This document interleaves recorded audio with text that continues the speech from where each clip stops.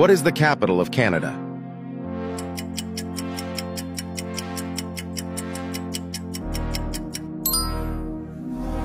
What does the I mean in FBI?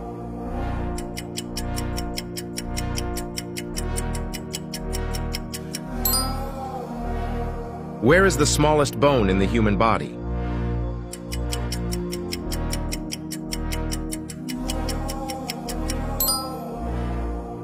Who was the first woman to fly solo across the Atlantic Ocean?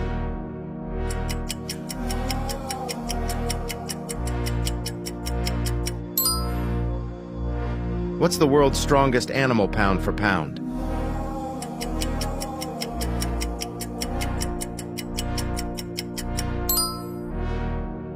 Who wrote the play Romeo and Juliet?